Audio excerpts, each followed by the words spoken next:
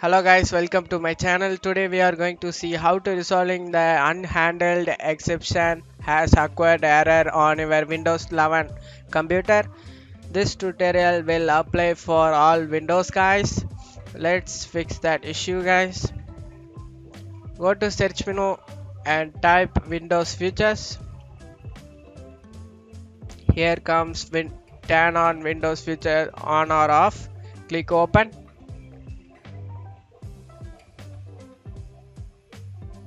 you just want to enable this both of this.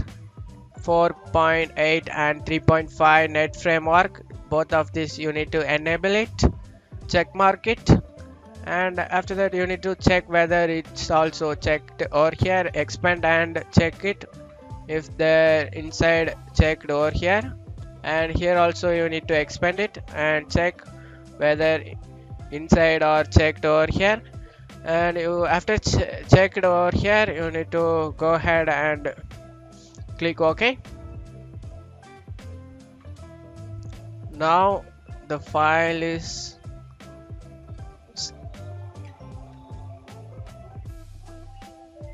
applying changes now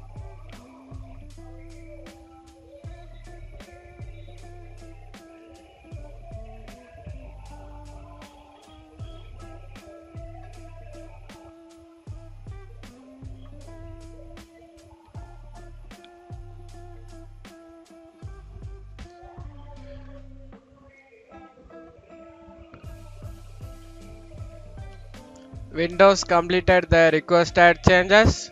After getting this, close out of here. Now go to search menu guys and type cmd. Run as administrator. Click yes. Now here you need to type sfc space slash scan now sfc space slash S-C-A-N-N-O-W press enter guys. Being system scan this process will take some time. Verification need to get 100 percentage guys. Let's wait for it